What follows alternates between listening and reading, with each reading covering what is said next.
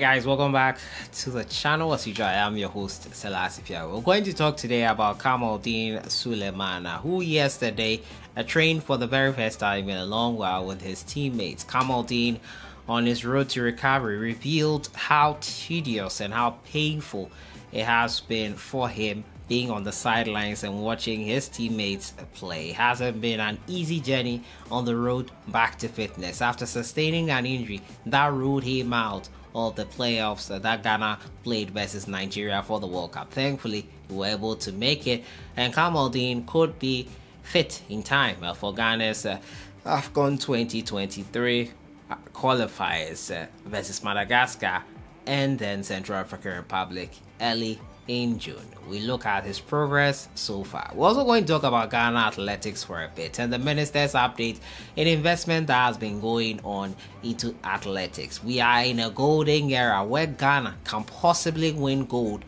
at the Commonwealth Games. Uh, Benjamin Azameti broke his own record for this season as well once again over the weekend, running at 9.86 seconds. It was an amazing weekend. It is an amazing season with him and Joseph Paul Amoah along with Deborah, who are making Ghana proud. What is the investment going into the athletics? We'll hear from the Minister of Youth and Sports and also Otto Addo latest. The GFA have stated they do not have a problem with Otto Addo combining both jobs at Dortmund and with the Ghana Black Stars. All today, as usual, subscribe if you have not. and click on the notification bell to get more updates. Without much ado, we'll start off from the Kamaldeen Sulemana before we get into athletics. And Kamaldeen Sulemana has been on the sidelines for quite a while now. The Ghanaian young winger spoke about his uh, struggles in having to watch his teammates from the sidelines and not participating. He had an issue with his backbone, and uh, owing to that, this injury has been something which he has not been used to because one minute you are getting back on your feet, another minute when you want to train a bit, it gets worse. This has been an up and down uh, movement, a whirlwind of emotions for him. And uh, he has returned to training for the very first time with his teammates. The young star returned to training with on Monday after being sidelined for more than two months with a back injury. And Sulemana has not played since sustaining an injury against PSG on February 11th. Sulemana season appeared to be over, but he has recovered and expected to play in the final two games for Rennes who are vying for a Europa League spot. Kamaldeen will be absent in Nantes on Wednesday, but I have high hopes that he can apply in the final game of the season against Marseille, coach uh, Bruno said. Sulemana's debut season has been ruined by injury. He moved to Rennes from Danish side FC Nordsjælland for an undisclosed fee of 20 million euros. He hit the ground running right away, scoring a spectacular goal against Lyon uh, Sulemana went on to score three more goals and added two assists, finishing the first round as one of the team's best players. However, due to injury, he has not enjoyed the second round. Sulemana was a member of the Black Star squad that was eliminated from the group stages of the African Cup of Nations in January. He did not, however, make the squad for the Nigeria game where Ghana progressed ahead of the Super Eagles uh, to make it into the World Cup proper this year. So Kamaldeen Sulemana, unfortunate he has been out for this long. Thankfully, he is getting back on his feet. We hope to see him versus Madagascar and Central African Republic. My next story has to do with Ghana athletics and uh, the lack of investment thereof that has been going into athletics, uh, but still we get the results from that front. We invest a lot into football in this country, and this could be the golden era of Ghana athletics. Benjamin Azameti, Joseph Paul Amoah, and Deborah, who have now been doing amazing things. Over the weekend, Benjamin Azameti broke his own record running at 9.86 seconds. This season alone, he has run 9.90 seconds, 9.96, and then now 9.86 in the space of three weeks. This is a golden era for Ghana athletics. If we do not support them now and help them reach the potential they can reach, uh, we might be in for a long wait for another group of athletes like this. But uh, the Minister of Youth and Sports, in a press briefing, has confirmed that 5 million Ghana cedis has been invested into preparations for the Commonwealth Games, which we stand a great chance of winning a medal, a gold one at that, in athletics. The sports minister in a press briefing said uh, he has confirmed that a total of 5 million Ghana cedis has been invested by the government in sporting disciplines other than football as part of preparation uh, towards the Commonwealth Games.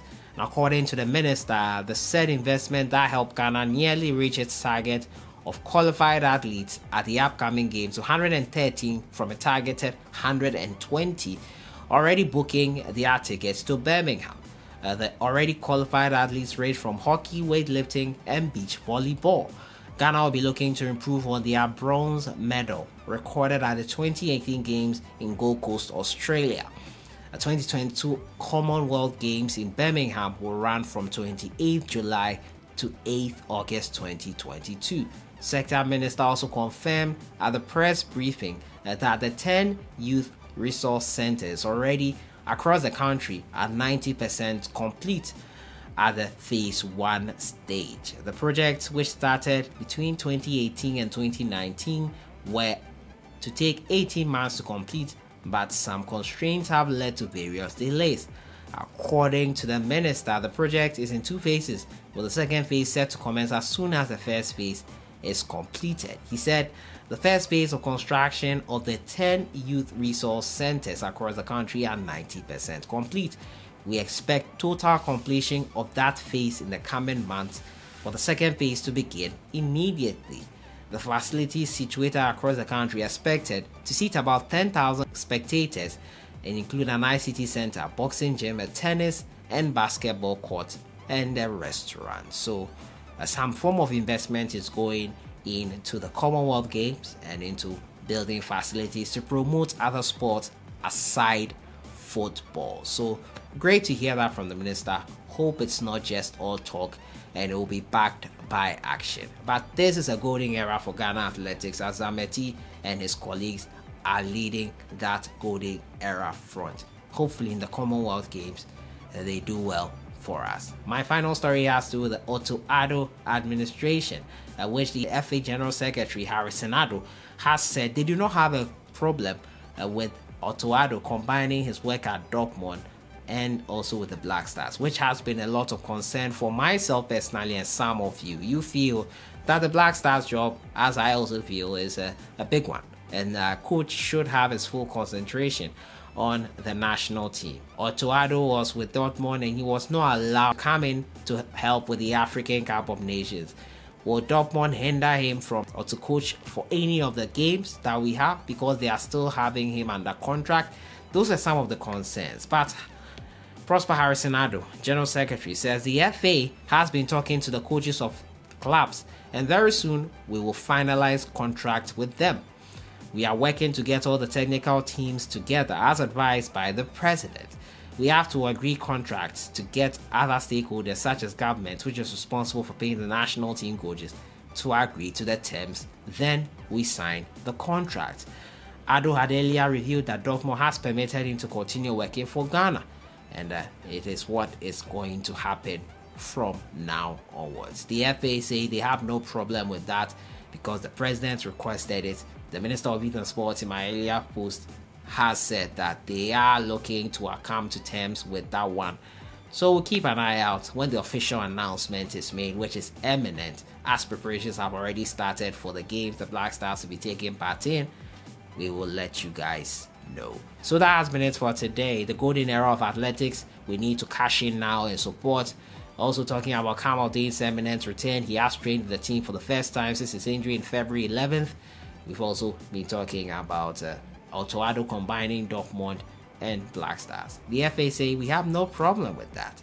Do you have a problem with that? Let me know your thoughts on everything in the comments box. I'll see you guys in the next one. Have a great day.